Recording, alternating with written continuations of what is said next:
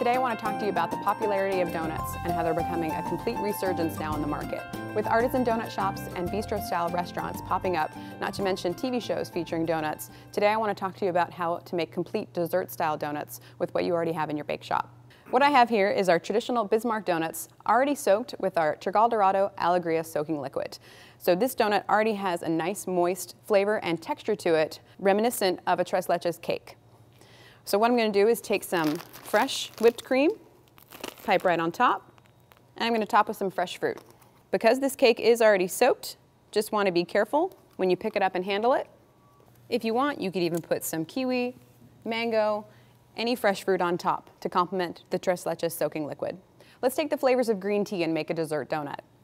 Here I have our super speedy recipe using green tea matcha powder. Take the matcha powder, dissolve it in hot water, and use that in the liquid in your formula. Again, I'm going to take our Bismarck donuts. I filled this with a light cream. You can see the matcha powder gives it a nice light green color, but also a very clean flavor. You don't want to overpower the flavor of green tea, so whatever filling you put in, make it nice and light. Now we can go ahead and decorate. Here's some couverture decorations that I've made and some crisp pearls. Less is more. You don't have to overcrowd. The flavor is really what you're selling. So here I have two different types of glazes using our Boiron fruit purees. I have a raspberry and I have a passion fruit. Take the formula for the Super Speedy, omit the water, and replace with warm puree. You can always adjust the consistency with water after, but make sure that you've got a nice, flavorful glaze using that Boiron puree. So for my raspberry, give it a quick stir. I'm going to dip our superfine cake donuts. If you wanted to put some fresh fruit on this, you can. I'm going to pipe a little cream in the center and garnish with our twinkle pearls. So I have the flavor of a raspberry smoothie in a donut. So summertime, think passion fruit, bright, tart, really beautiful flavor and a nice color to it. Here I have our master mix, yeast raised. Dip these in your vanilla dipping icing first or even white chocolate ganache. Then dip in your glaze and your colors will even be more pronounced. Make it colorful by using a variety of the twinkle pearls this time.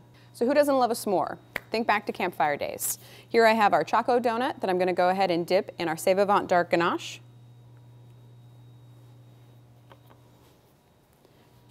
Garnish with some graham cracker crumbs. Take some marshmallow filling or mini marshmallows. We're going to pipe right in the center. And then what's a s'more without that toasted taste and flavor? And then we have to garnish with a candy bar. Westco has captured the flavor of a red velvet cake in a donut. Here's our Westco red velvet cake donut that we're going to turn into a beautiful finished dessert. So I'm going to dip this in our dark chocolate ganache. You could also dip in milk or white chocolate. We have to have cream cheese icing in our red velvet cake. So we're going to pipe that right here on the top. Now we're going to finish with some chocolate decor. Remember, these are dessert style donuts. These aren't just quick donuts on the go.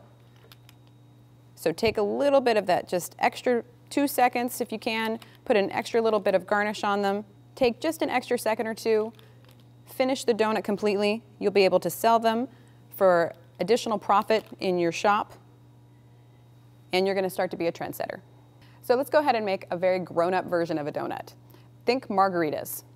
Here I have our Bismarck style donuts, dipped already in our white chocolate ganache, and what I'm gonna do is dip it in a tequila lime glaze. So this is our super speedy formula but instead of just water, I've used tequila and lime juice with the addition of water. Make sure to taste it so it's not too overpowering, but a nice kick of tequila, but a nice bite of lime. You can see the lime zest on top. So now we're gonna go ahead and finish it off with a little bit of cream and uh, some lime curd. Because we put a little lime zest in our glaze, we've used a candied lime slice. And remember, this is margarita, Got to put a little pinch of salt on top. For more information, please visit our website at yourbakemark.com. Thank you for watching.